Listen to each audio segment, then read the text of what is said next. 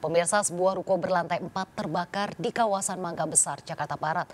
Bahan kimia dan bahan baku percetakan terbakar akibat api sulit dipadamkan.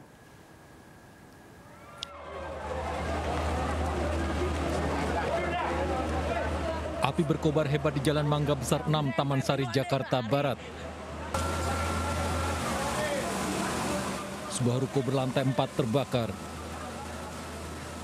Api muncul dari lantai 4 ruko, membesar dengan cepat, menghanguskan nyaris seluruh bangunan.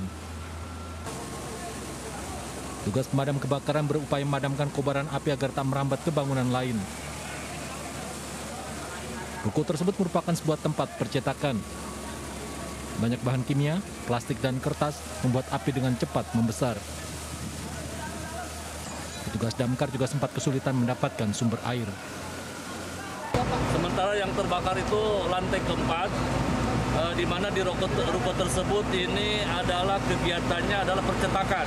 Jadi masih ada mungkin kandungan-kandungan kimia dan segala macam, sehingga agak sedikit eh, eh, sulit ya, sulit memadamkannya. Kepanikan sempat terjadi, warga sekitar berusaha memindahkan mobil menjauh dari lokasi kebakaran. Polisi pun mengimbau warga yang menonton menjauh dari lokasi.